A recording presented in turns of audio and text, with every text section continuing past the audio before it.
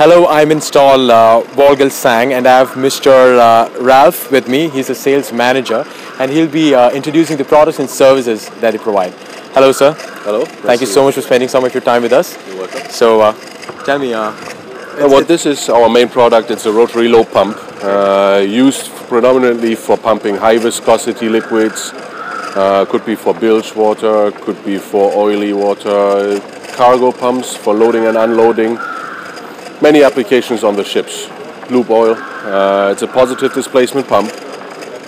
The main advantages over other types of pump is its physical size. It's very small and compact. Um, it can run dry. There's no issues with dry running. It is very easy to maintain. Easy maintenance is always a big issue on the ships.